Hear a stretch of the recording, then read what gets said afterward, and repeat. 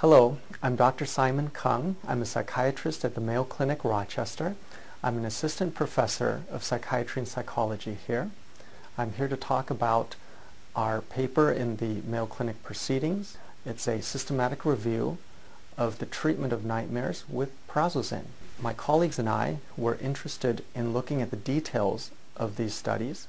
In clinical practice, we frequently encounter patients with nightmares, and these are, are uh, not easy to treat, especially patients who have tra trauma nightmares.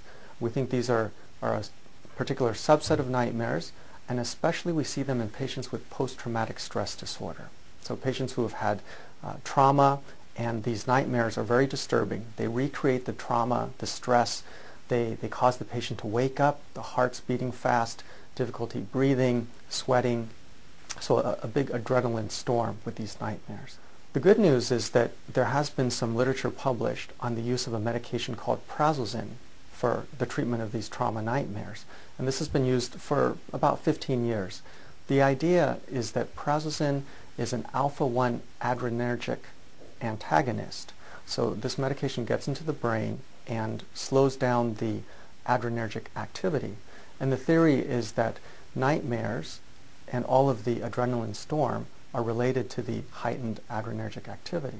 This uh, treatment using prazosin has been published enough that there is evidence and the American Academy of Sleep Medicine uh, and also the VA Department of Defense has listed prazosin as a level A or level B uh, le uh, treatment recommendation for trauma nightmares. What we did in our systematic review was we took a closer look at all of these studies. We, wanted to find studies that included any kind of prazosin or placebo uh, or treatment, open label treatment of, of uh, using prazosin and there had to be some outcomes. They had, these studies had to measure the severity or frequency of nightmares. What we found, and we searched all the way through until March 2012, was we found 12 studies that met our criteria.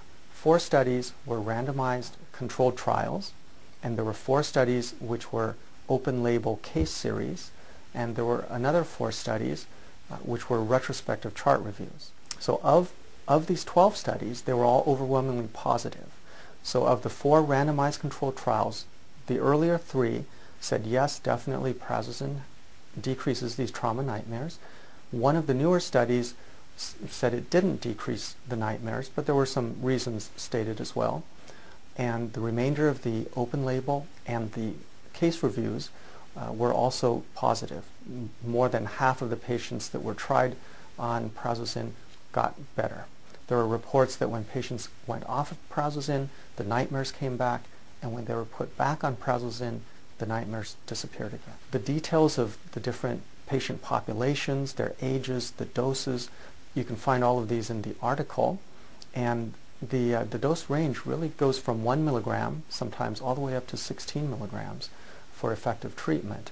And it's been used in patients as old as in their 80s and there's been one case report of a patient age 7 who was successfully treated with prazosin. So overall, this is good news because now clinicians have another medication that they can use for, for nightmares. Um, good news for patients as well. There certainly can be more research done to find out whether prazosin might help with nightmares that are not trauma-related nightmares. Um, and in the next two years, there are, there are two very large studies of prazosin um, in the veteran population and also active soldier population that will really help inform us again. Of the 12 studies that we looked at, the only limitation that could be said is that the sample sizes were small. So of the 12 studies, there were only 259 patients altogether that were included in, in these studies. The two new studies upcoming, expected to be finished in the next year or two, that are done at the VA in Puget Sound. Uh, these will involve, one of them involves about 300 plus patients and another is 200 plus patients. So it'd be very interesting to see what these upcoming uh, research shows. The, the uh, important points to remember is that there is a medication, prazosin, which is effective for the treatment of trauma-related nightmares. The evidence base is small, a total of 259 patients out of these 12 studies, but it's also very positive that patients really did get better with this.